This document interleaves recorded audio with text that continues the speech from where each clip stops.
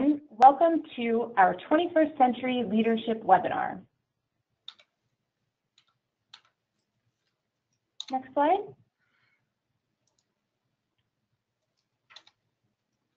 I'm Virginia with Rutgers School of Management and Labor Relations, and I will be your host and moderator. The School of Management and Labor Relations is the proud sponsor for today's webinar, and we're very happy to include this topic into our webinar series. We encourage everybody uh, to send us any questions you may have. To do so, you will use the control box. The picture is depicted here. The uh, box with the arrow, the orange box with the arrow, uh, you'll use that to open and close your controls. Open and close your controls, and you'll type your questions into the question box, and you'll send uh, at any time, and you will press send. We will respond to all questions at the end of the webinar.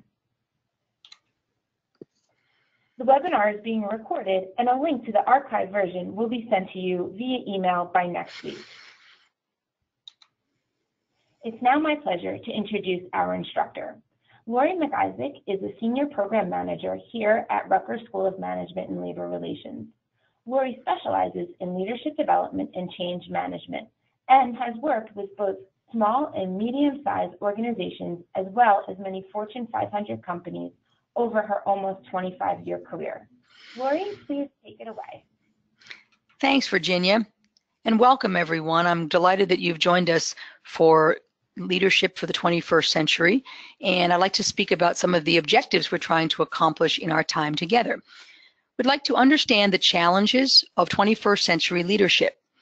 We will know the key competencies for success as a 21st century leader, and we'll learn the tools for developing an action plan to improve 21st century leadership capability.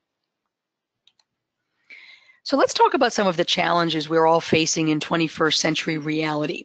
First, we have a really strong technology driven workplace that is lowering our barriers to entry and creating new industries all the time. We have increased globalization of markets, products, and people.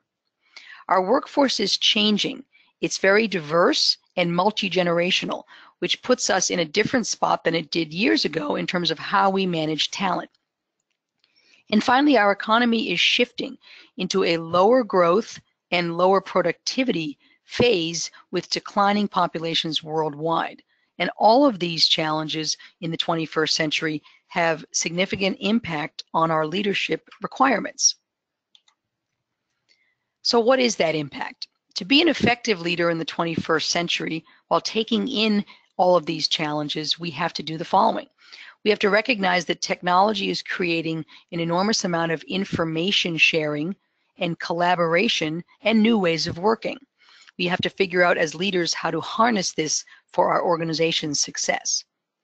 Globalization is increasing job competition and intensifying the demand for highly trained workers. And as leaders, we have to figure out how to get those talented individuals to join our organization and how to keep them motivated to stay. Our workforce has different values, different experience with technology, and different demands for a work life balance than they did even 10 years ago. So, how do we as leaders find ways to engage those employees for success? And finally, in general, the labor force growth is declining, but educational levels and knowledge based skills are changing and asking us as leaders to figure out how to staff our organizations properly across the globe. These are some big challenges with a significant impact on us as leaders. So let's talk about how we handle it. Virginia? Okay, so we have a poll question. You experience these, do you experience these challenges and their impact on your leadership effectiveness? So if you can take a moment and um, select your answer. I'm going to go ahead and close the poll and share the response. And Lori, um, 100% of our participants answered yes. Wow, that was easy and not surprising. Thank you everyone for saying so. These are definitely things we see every day. So let's talk a little bit about how we go ahead and manage those challenges as good leaders in our organizations. Well, as you all know, leadership is a function of having the proper competencies to have others in our organization follow us in order to improve the performance of our departments or our organizations as a whole. Here are five areas in leadership that we at Rutgers think need to be developed into competencies for leaders like yourselves. The first is to shape culture.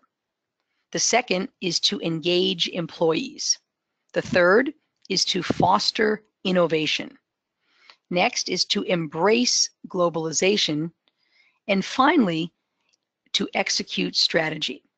So we think a successful 21st century leader would have mastery of these key competencies in order to address the challenges we just laid out for the 21st century. So let's take a look at each one of these individually and see what we mean by a competency and how we might acquire it as a great leader. All right, Ginny? Okay, we're at our second poll question. Which leadership competency do you want to improve the most? And again, that is shaping culture, engaging employees, fostering innovation, embracing globalization, and executing strategy.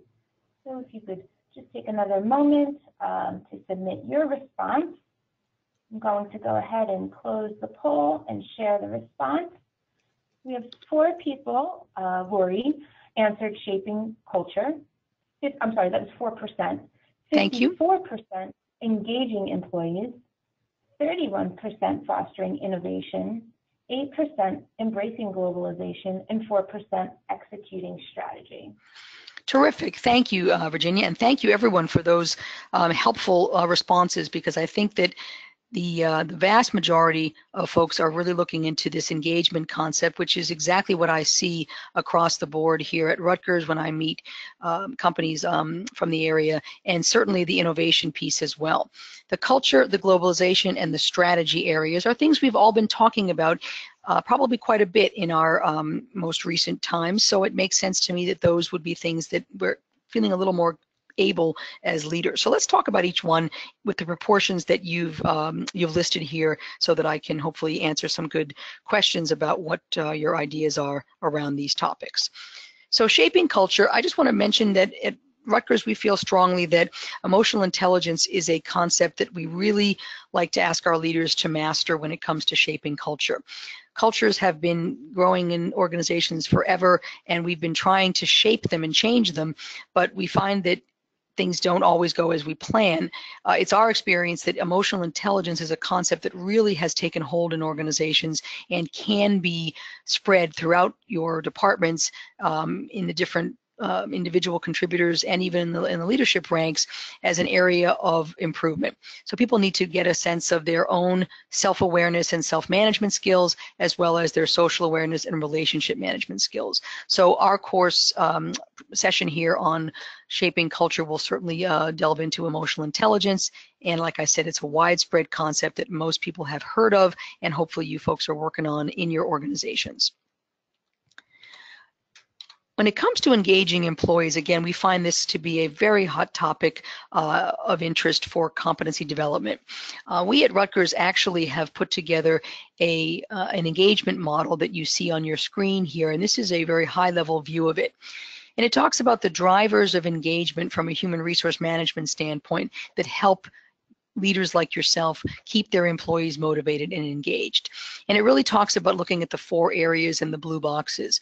So you as a leader want to make sure you work with your HR organization to be sure that the job characteristics, the role, the coworker support, and the management uh, encouragement and support are all in line with what's needed for engaging employees. Because the term engagement really means asking uh, and getting from uh, employees that discretionary effort to do more and to really commit to the organization. So job characteristics, if you'll take a look, you know, we usually think about this as the the purview of HR, but as a leader, you know, you have control over the skill variety and the certain demands on the job that your people have. So working with them to make sure the job characteristics fit what they're looking for uh, around opportunity for variety and different levels of uh, of, of uh, characteristics that make them engaged or passionate about their work will be helpful. From a role standpoint, you know, it seems very clear that employees are asking their managers and their leaders to help them clarify what it is you want me to do and how it is I can add value to the organization. So they care quite a bit um, about fitting in properly in their roles. And this will help them be engaged because they'll know what they need to do every day to add value to the organization, which provides meaning and their hopefully their desire to stay. Co-workers, again, another critical area of engagement.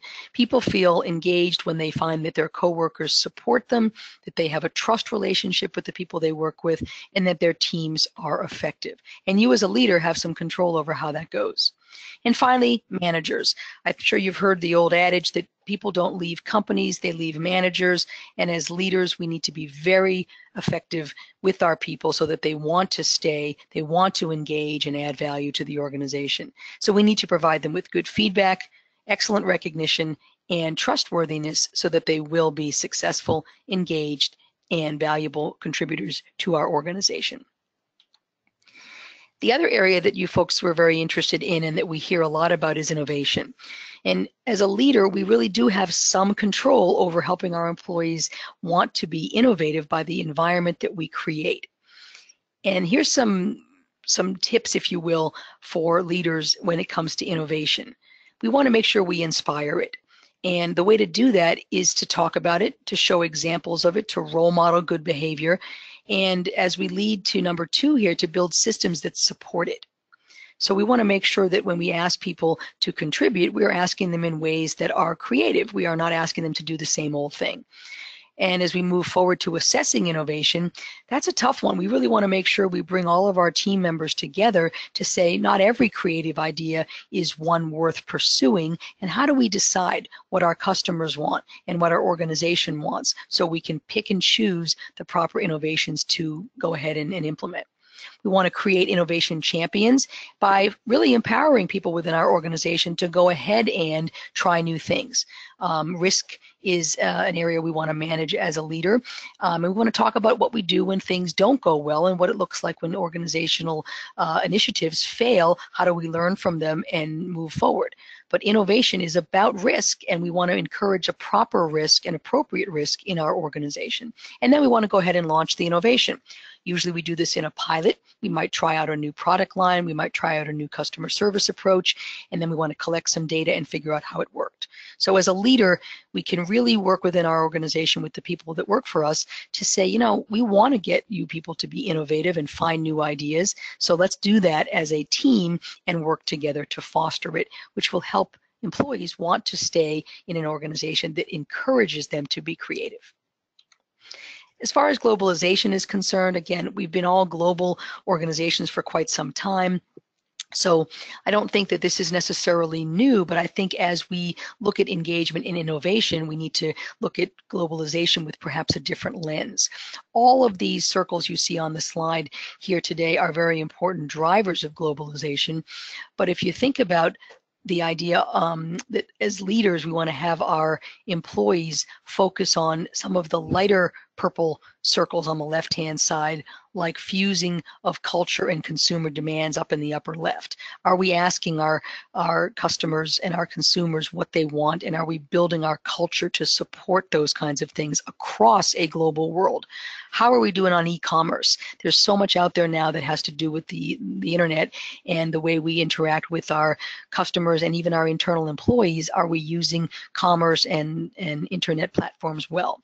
Are we sharing knowledge across a global organization? Things that we do well here in the States, are we sending that information overseas and back and forth the other way so that people aren't recreating the wheel? When we have a great process, let's make sure we're going ahead and sharing that knowledge. And you can see the other ones as well. So globalization, although it may have been here for a while, the way in which we utilize it to engage our employees and allow them to be creative is definitely something we want to keep track of as a good leader in our organization. And finally, driving execution. I guess at the end of the day, we've been talking about execution as leaders for so long, it almost becomes commonplace. But I'd like to say that any strategy that's worth defining in an organization and worth implementing really needs to be led and driven by you, the leaders. So once we've defined this starting point for the opportunities we'd like to delve into as a strategy, as you can see on the slide here, we at Rutgers feel strongly that there are voices we need to listen to to drive improved business results through a strategy. There's the voice of the customer, that's both the internal and external customer, and then there's the voice of the business. So we want to blend our qualitative information about our organization from the left-hand side with our quantitative information on the right-hand side, the financial and process orientations that drive our business. So if we as good leaders want to execute strategy, we need to figure out which of those voices are speaking to us, what are they saying, and how do those come together in projects or processes that drive strategy forward. So are we putting together effective project teams that take on specific strategic initiatives in our organization that allow us to improve how we do things, codify that, measure it, and then show that as improved business results for success. So again, driving execution would be an area that I think all of us need to keep uh, keep tabs on when it comes to being effective leaders in our organizations. All right, so I'm going to turn it over to Virginia now and see what we've come up with from questions that you've submitted throughout our webinar so that I can answer them and we can have a little more understanding of these concepts. Okay, thank you, Lori. Uh, we did receive a, a few questions so far. And our first question is, what are some ways to engage your team to perform well together when there are general, uh, I'm sorry, generational differences between them? Oh, that's a great question and one we hear all the time. As we mentioned earlier, you know, the workforce is multi-generational. I was at a client last week and they were saying that they believe that the biggest challenge they have is to manage four generations within the workforce because people are staying in the workforce longer as their health improves and they would like to continue adding value. So we're dealing with baby boomers and uh, Generation X and millennials and, and all through the, the generation one of the things that I think is most important to keep people engaged is to have those generations communicate with each other in unique and different ways.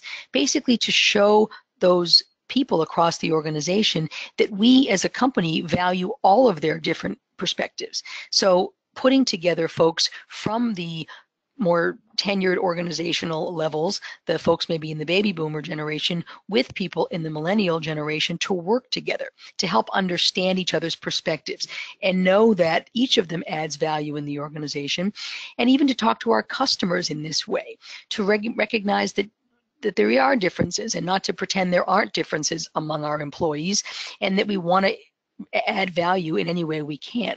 So sometimes we hear about millennials training more um, uh, seasoned employees in things like technology. You know, so many times we have these new uh, platforms and new ways of communicating and sharing knowledge, and sometimes the the folks from the more seasoned generation are just not familiar with it or comfortable with it. So we'll put together like an internal focus group and say we're going to have some of the um, uh, newer members of our um, our company train some of the more senior members um, in the organization on some of these new platforms and techniques.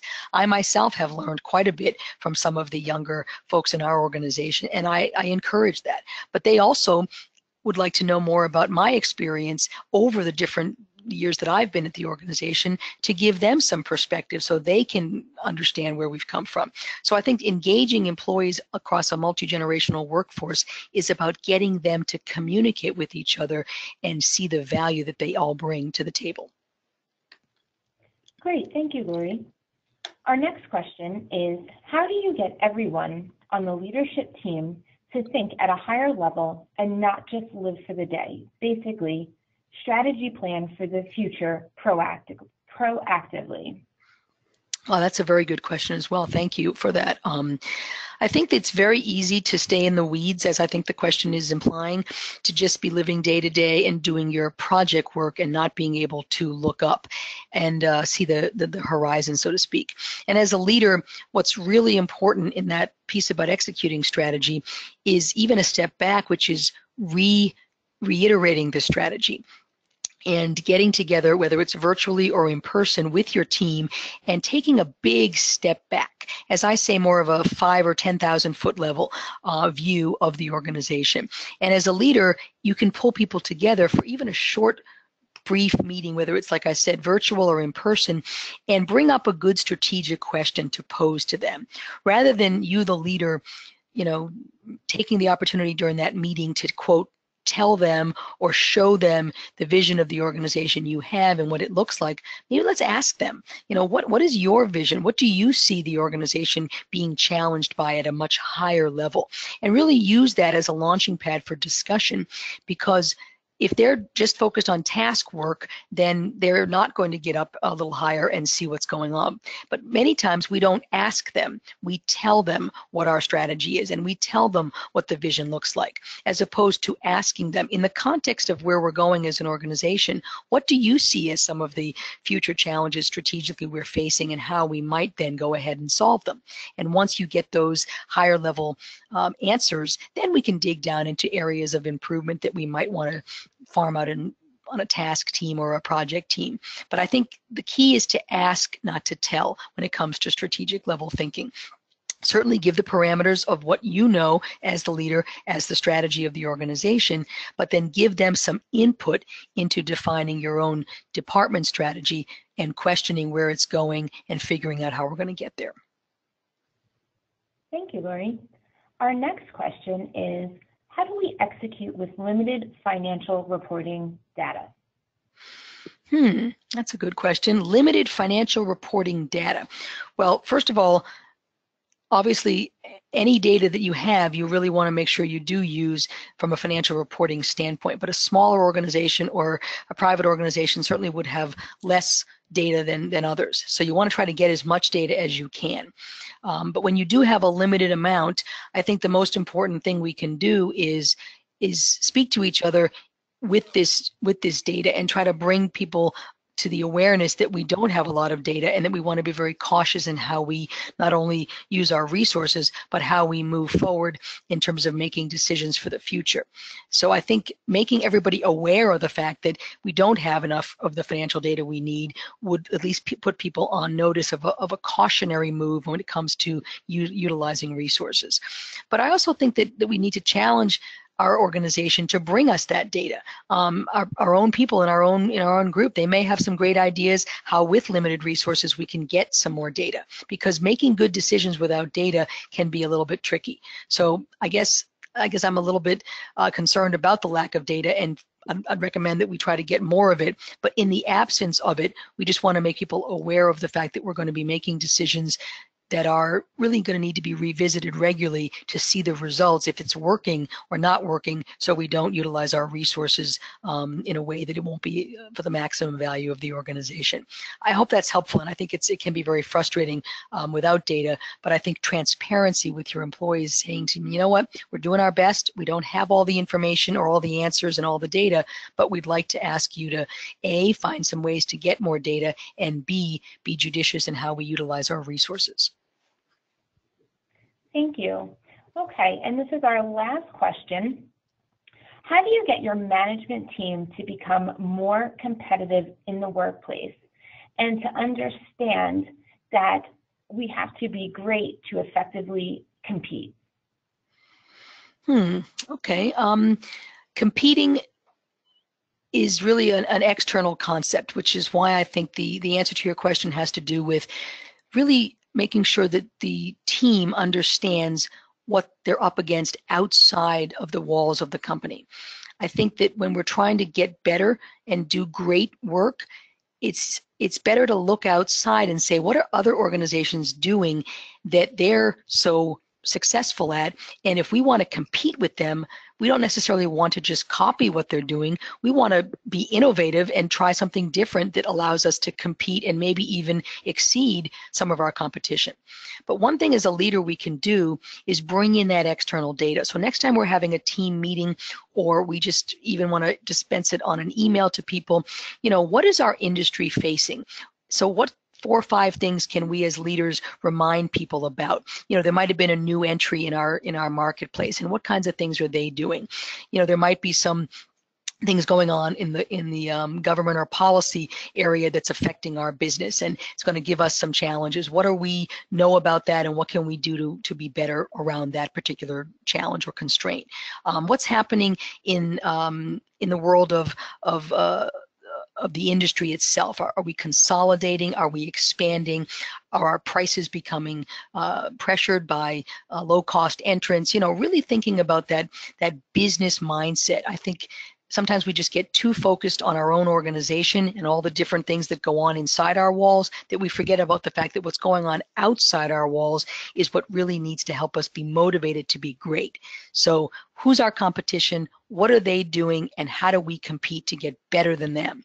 Um, I've worked in a number of organizations where we would really talk very specifically. In the beginning of my career, I worked at Xerox, um, and I remember talking a lot about Canon in the organization. We were not necessarily saying we wanted to be like Canon, we wanted to know what they were doing, and we wanted to be better. So find yourself a good external competitor to focus on and ask people to be great, to be able to, quote, beat out that competitor. Okay, that was our last question. Thank you, Lori. All right. Well, thank you, Virginia, for moderating, and thank you, everyone, for your participation. Uh, it's been really interesting hearing some of the things you're faced with out there, and I think they're very much in line with some of the things that we see here at Rutgers. So what I want to do today is to invite you, if you enjoyed and uh, were excited about some of the topics we talked about and some of the competencies that we'd like to impart to you today at this webinar, to participate in our upcoming on-campus leadership development program called the Master's Certificate in Leadership for 21st Century and was right here on our Piscataway campus, November 13th through 17th. It's a five-day program and we would like to offer you all a 20% discount to come and participate. If you can't join us for the entire program, you can join each session individually with that same discount. And I'd encourage you to take a look at our, um, our website, which is epe.rutgers.edu, and you'll be able to find 21st Century Leadership, our master certificate program laid out with all of the 10 sessions there over the course of five days. And we'd really invite you to come to any or all of them at our discount and learn more about how we see competencies for the future and being successful in your organization. So hope to see you then. Okay. Well, thank you, Lori, for this informative presentation, and thank you all for participating. This concludes today's webinar. As I mentioned earlier, a link to the archived recording of this presentation will be sent to you shortly. Uh, we hope to see you in our future programs. And again, for more information, please visit our website, epe.rutgers.edu. Thank you.